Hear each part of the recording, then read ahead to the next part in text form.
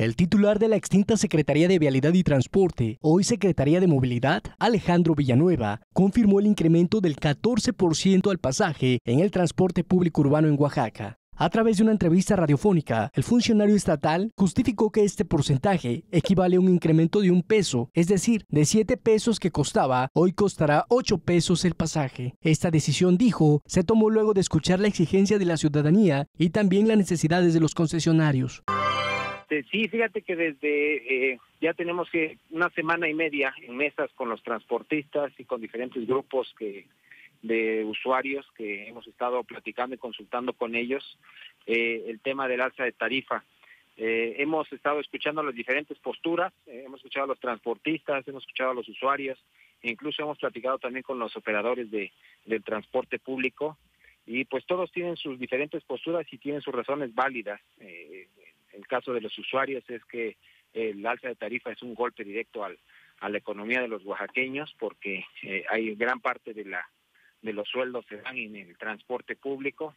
De parte de los transportistas también que el, alza de tarifa del 43% desde el año pasado ha subido, ha incrementado los insumos, y ha incrementado eh, todo en, general y que ellos necesitan un, un alza de tarifa para poder este, seguir manteniendo este transporte. Eh, yo he revisado personalmente las comisiones del transporte público y es claro que se necesita la mejora. Entonces, es por eso que ha autorizado la Secretaría de Movilidad un aumento no del 43% como pedían los los eh, concesionarios, sino de un 14%, que es de un peso. Pasaría de 7 pesos a 8 pesos. Misael y Alejandro.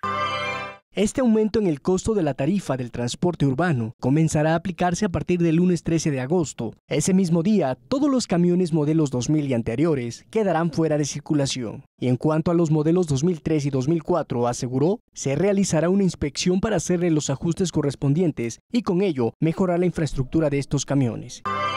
En el caso mío también se va a hacer un compromiso, todos los eh, autobuses modelos 2000 y anteriores deben ser este, van a dejar de circular eh, desde el día lunes, a partir de que alce la tarifa. Vamos a tener un programa, vamos a buscar ayuda por eh, medio del gobierno para eh, que ellos puedan tener planes de acceso de créditos para poder empezar a cambiar y modernizar inmediatamente los modelos 2002, 2001 y 2002. Y algo muy importante que vamos a hacer en esta administración del maestro Alejandro Murad es que vamos a estar diariamente, vamos a hacer un, un grupo de supervisores de la Secretaría de Movilidad que diariamente van a estar revisando los camiones.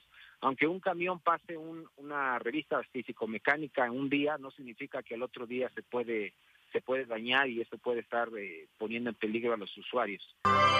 Es importante mencionar que cada vez que los concesionarios anuncian un incremento al pasaje en Oaxaca, el gobierno del estado, así sea mínimo el porcentaje, cede y lo justifica con un incremento mínimo, como lo que acaba de suceder nuevamente. Con imágenes de Adrián Rodríguez, informó para MBM Televisión Deimo Sánchez.